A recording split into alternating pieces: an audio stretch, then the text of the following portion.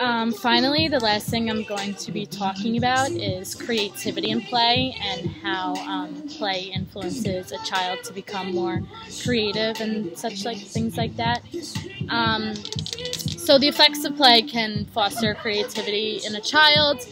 Creativity is basically the ability to produce new things um, right off the bat. Um, creativity is a key process for personal development and social progress. Um, that's why it's like included in positive psychology.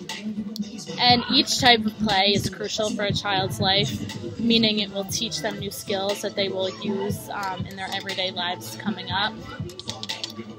And um, it's just super important to have creativity because a child's mind is so um, big and so imaginative. So it just like makes them like overall happier. Like if they're um, coming up with um, like new things. Like a couple of my neighbors, they always come over and I don't even know what they're playing, what kind of games they do, but like they're just so creative with it and they like have the time of their lives and they learn to speak with each other and to cooperate with each other and to kind of um, if they have like a dispute they settle it and um, it's actually really like impressive to watch because you wouldn't think at such a young age that um, they can come up with all these like different types of games that you've never even heard of and so it's just like interesting to like just be like an outsider like looking in on see like what they're doing these days um, so yeah, so that's why like creativity is so like important in a child and how play um, influences creativity.